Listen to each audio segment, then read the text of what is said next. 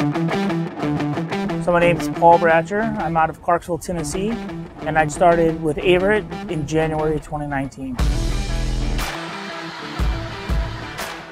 Out of 26 years in the military, I spent 19 of those years at Fort Bragg, North Carolina, nine combat deployments. Uh, I retired in March 1st of uh, 2019. I started working for Averitt in January of 2019.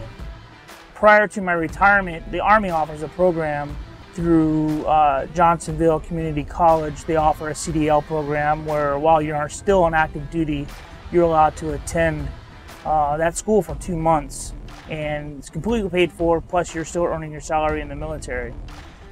Uh, once that was done, I started what's my, what the military calls a transition leave. Uh, and that's how I came to Averitt in January while I was still active duty. When I came to Averitt is when I also uh, used the GI Bill uh, for the next 12 months of my transition to the civilian sector. And it's been, it's been a really good experience ever since.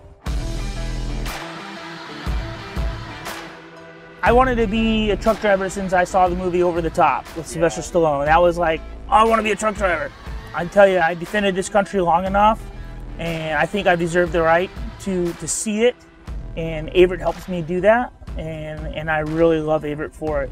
The biggest thing that made me go to Averitt was the sense of professionalism that was there.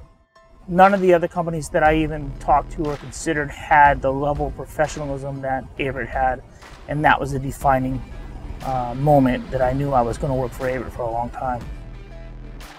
The thing about Averitt is nobody stands in front of you, they all stand beside you, and they always got your back. And that's what I really love about Averitt, and that's why I see my future with Averitt being a long time.